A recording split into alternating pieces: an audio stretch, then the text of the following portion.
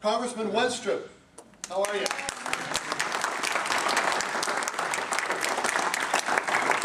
How are you, Brad? I'm doing all right. I just wanted to, uh, I, I, I told people I thought you were gonna make it, um, and I hope that you had.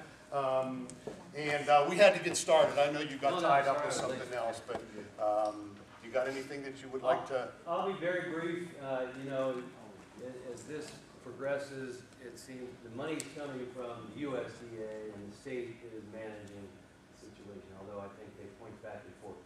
But I did talk to ODA today, David Daniels, and he said that it it very much appears that the recommendation of the preferred method of treatment by the USDA to them Yeah, will be to remove infected trees and inject high-risk trees. Caveat being that they will still reserve the right to decide if some trees are a higher risk and should still be taken down. okay.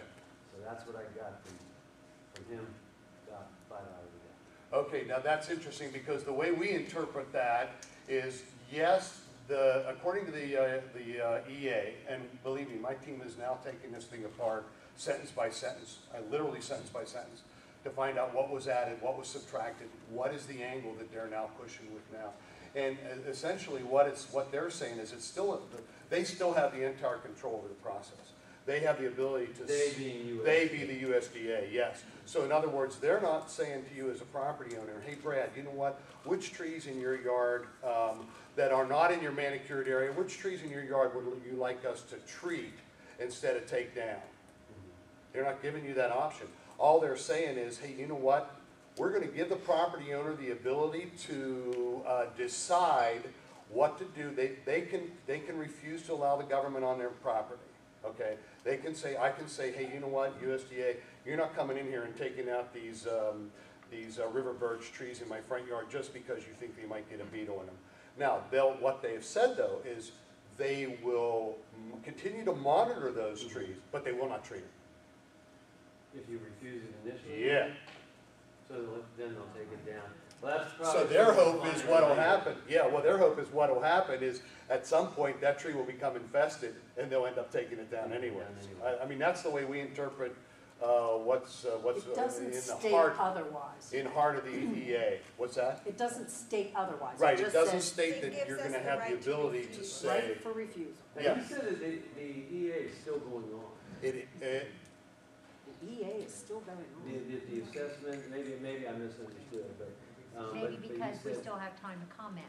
Yeah, I Maybe think, that's maybe what that was it. Yeah. Yeah, there- there's still open discussion, but it, it said it looks very likely that their recommendation is, in, in a nutshell, is that, you know, they will, they will cut down the infected trees. yeah, yeah. Um, and the high-risk trees they will inject. That's, That that's would what I And was you told. know who did that? Everybody who commented. Yeah, that's exactly right. Yeah, that's exactly right. You're the guys that should be thanked for that, because, we- I mean, we, yeah, we we were kind of the steering committee for getting this thing rolling, but it was the comments that came out of the, the property owners in Bethel, it was the, that, that's made them step back and say, whoa, wait a second, I referred to that earlier. I mean, they didn't want to have to come back, they don't, didn't want to have to come in here and make concessions, and we forced them to do that. I mean, Um, following this through you and, and everything you did, there's no doubt that if you sat back and did nothing, those trees would be gone. They should be gone, that's exactly And, uh, right. So your, Yeah. your efforts don't seem to be lost, and, and what uh, Mr. Daniels said basically goes, I, I know you all wish you didn't have to face this whole thing at all, Yeah. but this is a step in the better direction than what was going to happen. So, um, It- Yes, is heard somewhat, and don't stop. Yes, And yes. that's key. Yeah, Don't that's the, stop. that's the key. I'm glad you brought that up, because essentially, one of the things we'll mention early, uh, later on is that, you know, we're doing this because we want to stay a little bit on the defensive side. Uh, yeah, if you read the outward, uh, proposal in that environmental assessment, it looks really good. But when you get to read all the details, there's some things that we really have questions about. Who actually is controlling the, the, uh, Now, did you suggest an oversight committee? I did, and that's not gonna happen. Well, he brought it up, and he said. Did he? Yeah, well, he mentioned that that had been asked for, so I don't know if that's off the table. It's just a matter of who would be on the oversight. Oh, yeah, I wouldn't be, no, they, they, they're not gonna let me on there, Well, I I don't know, I don't know guarantee if you. you're talking about local elected officials, or, or who it would be. We have asked for that. Um, yeah, we've had. We have, Want we've asked that for right? years, because here, what we found out was what they did in Worcester, Massachusetts, is they pulled a, a, a, a panel together, a commission together, that were the stakeholders, you know, it was the, the politicians, it was the city manager's office, it was the forestry people, it was the, uh, the maple Community syrup groups. industry, I mean, it was a little bit of everybody, It wa- and it was civilians that sat on that. Yeah. You gotta remember, this is the same civilian group that got kicked out of a secret meeting because they found out that we were, uh, we were from the Bethel ALB, super secret meeting, yeah. Yeah. Well, you might want to continue to recommend that and maybe formulate how you would, how you would envision it being set Yeah. up. And I'm sure Something to would recommend in your comment. Yeah. Yeah, I would love to do that. So Uh, that's a- continue to pursue. do. Yeah, that's a good point. Uh, Because see, in fact, we have video of the USDA denying us the right to uh, sit across a table from them and uh, discuss this in an, in an open forum. Uh, We actually have that videotape from the Clermont County Fairgrounds where we asked them, hey, come on, guys, you know, why can't we just sit across the table for them? And they refused. So, and you should know, since you're, you- you weren't in the very beginning, they were invited here tonight. and Oh, uh. They don't, they don't show to these things. They never have, so. Well, that's all I got, but keep it up. All right, thank you. Thanks. Thanks, Brad.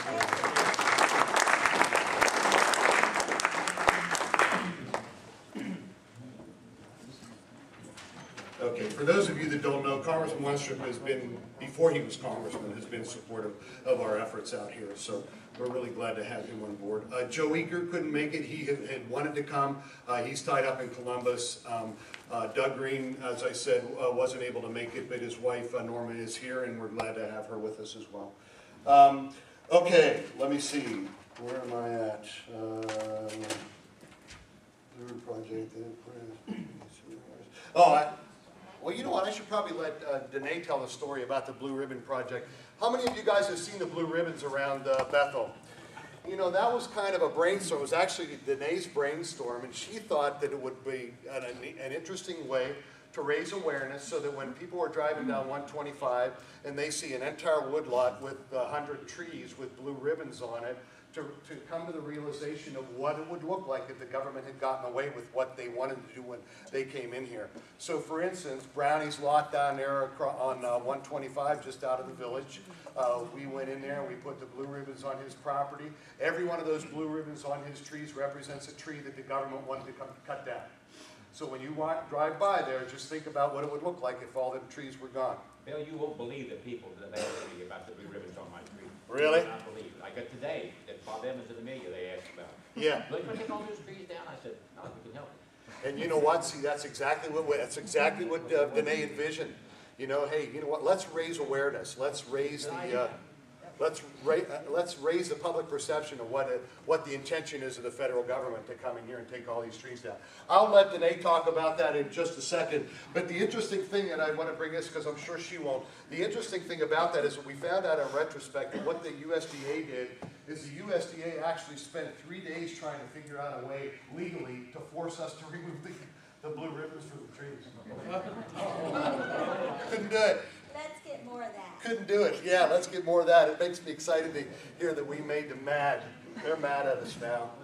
They are coming around, the, the guy that showed up to talk to me about our bugs, uh, they're telling that we're mismarking trees.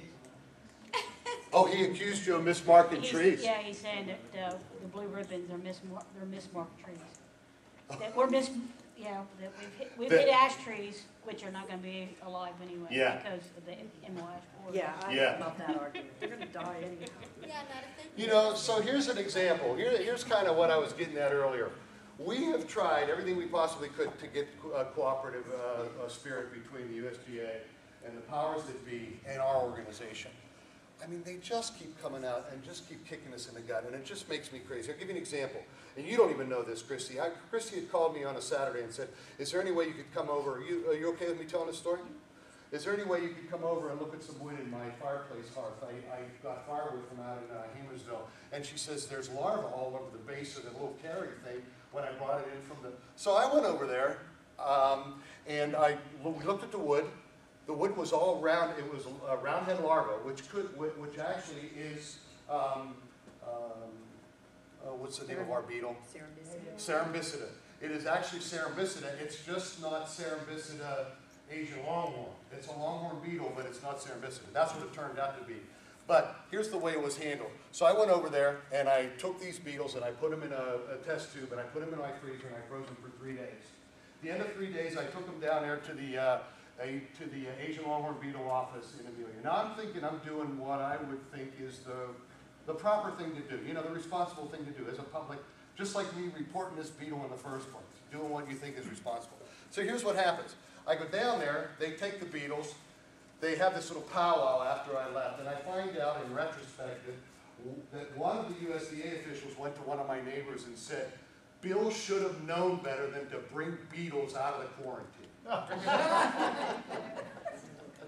I was furious. I mean, I was not only furious, but I was hurt. There I am, I'm trying to do what I think is the right thing. These things have been dead frozen in my freezer for three days. And yet, they didn't even have the, the, the decency to ask to tell me personally. They went to a neighbor and said, Bill should have known better than to bring them out of the quarantine. Oh, for God's sake. Well, you should have known that. I should have known better, you're right, I, I wasn't thinking. Ay, ay, ay. USDA. Uh,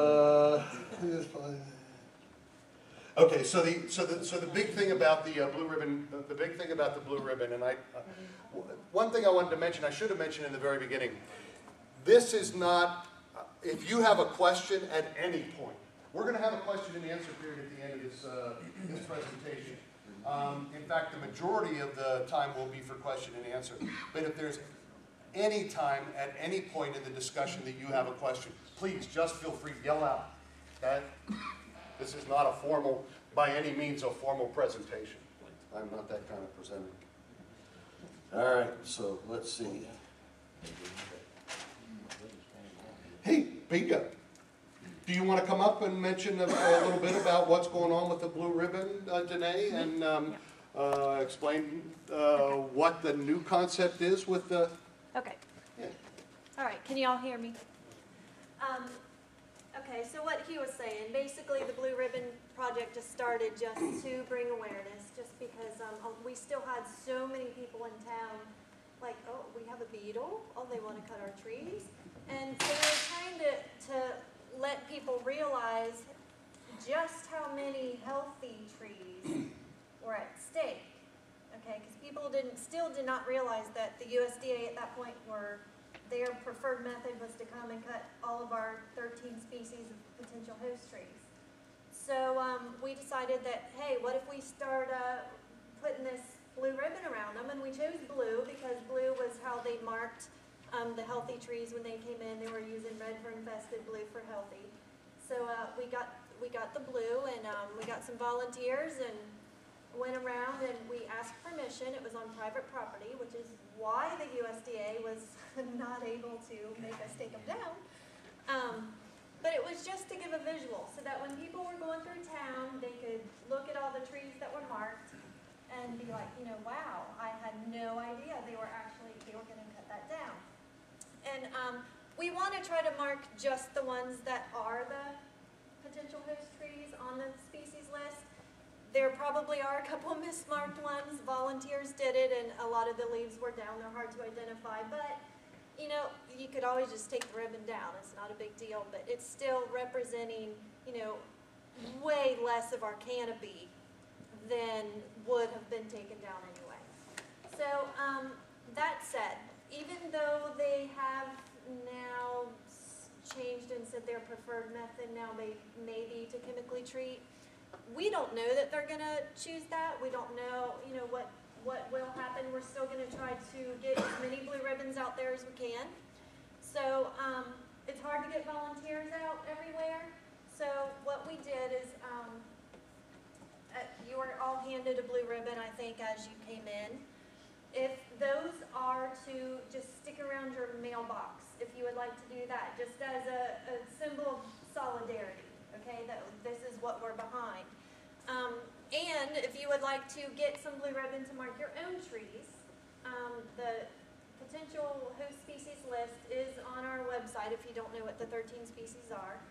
Um, there's a box of ribbons back here. You could grab some to take to mark your own trees in your yards if you would like to. If you have some left, give it to your neighbors and let them mark theirs. Um, if you have a lot left over, um, it, it is an expense that we have to buy. So there's, um, a drop box at Community Savings Bank in Bethel. If you want to swing by, if you have some leftover ribbon, just drop it there and then, uh, somebody else can pick it up and use it later. We'll collect it and redistribute. Um, something else we're in the process of possibly doing, we have to make sure we have the permission, we talked to village council. Um, we may be just getting some volunteers to go up and down the streets just to, um, we'll mark anything that's standing, the poles, the signs, the whatever, so that it's blue all the way up and downtown for a little while, and at least until we hear back from this. So, um, Today, yes, we, Travis and I was just chatting back and forth, and we say go ahead